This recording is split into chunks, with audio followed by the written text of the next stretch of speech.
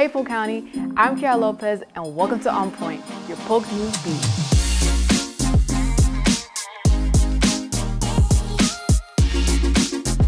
After Lake Wales voted to add body cameras to their police force, another Polk County city is considering the devices. After speaking with police officers from nearby Kissimmee and Cape Coral, Lakeland City Commissioners are moving closer on purchasing the devices for police in the city.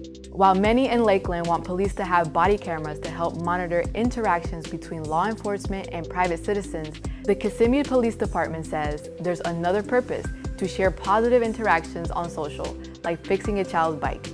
Mayor Bill Mutz said the commission is likely to discuss body cameras once more information is available on possible funding in June. The promotion of two longtime Polk County Fire Rescue veterans to deputy chief also brings a first for the division its first woman to hold the rank of deputy chief.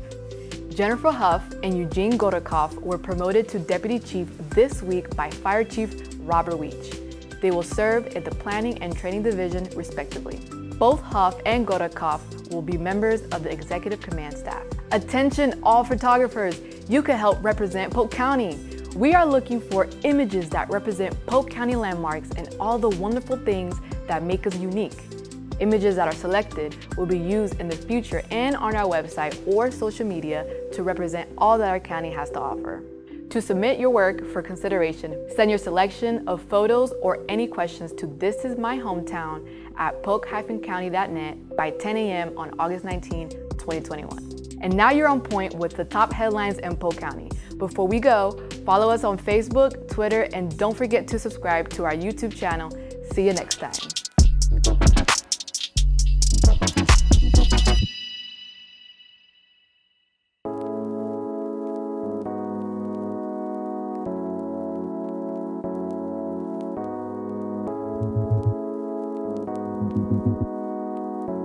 Thank you.